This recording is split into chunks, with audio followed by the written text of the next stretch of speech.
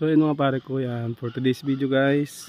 Ayan na uh, walang tayo ng short video no. Um, message lang ako dun sa aking mga anak, sa aking kambal.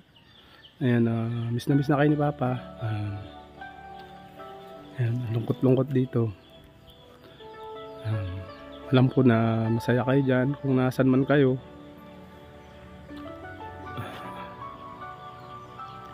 Basta ang importante sa akin na uh, masaya kayo. Kahit magkalayo man tayo. And lagi ko kayo namimiss. Uh,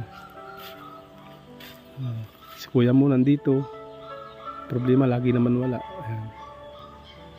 Walang araw, walang oras na hindi ko kayo na-miss.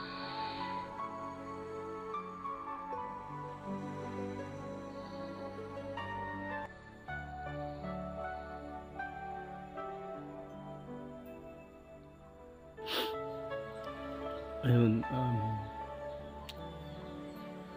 sorry sorry sa inyo mga anak ko ha? Pasensya na kayo kasi dahil kay papa. Kahiwa-hiwalay tayo. Kalayo tayo. Sana yan, patawarin niyo si papa kung ano man ang mga naging naging pagkakamali ni papa sana ano naintindihan ninyo. Darating yung panahon na naintindihan nyo lahat. Basta ang sa akin masaya kayo. Kung asan man kayo dyan. Sana di nyo makalimutan bilang ama ninyo bilang papa ninyo. Kasi gagawin ko pa rin yung responsibilidad ko bilang bilang ama ninyo. Suporta ako sa inyo sa mga gusto ninyo. Magsisikap pa rin ako para para sa inyo, sa inyong tatlo kung ano man yung gusto nyo marating. Andito pa rin si Papa. Yan aalalay.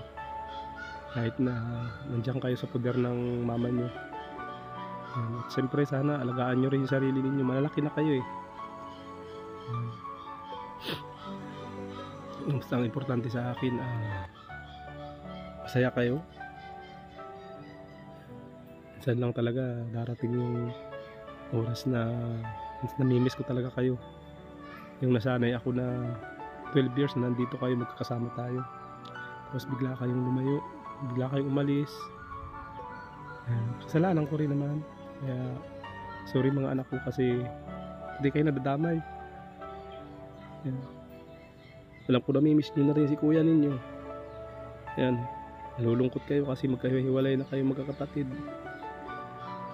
darating din yung tamang panahon na nakakasama ulit tayo. Hindi man ngayon pero um, bahala na si God anong plano niya sa atin. Mahal na mahal ko kayo. Sana ingatan niyo sarili niyo dyan. Love you so much mga anak ko. Ayan, lalo na sa inyong kambal. Kasi mga bata pa kayo. Ayan. sana maalagaan niyo yung sarili niyo dyan dahil wala yung ina ninyo hindi po mabayaan sarili ninyo. Love you nak. Bye bye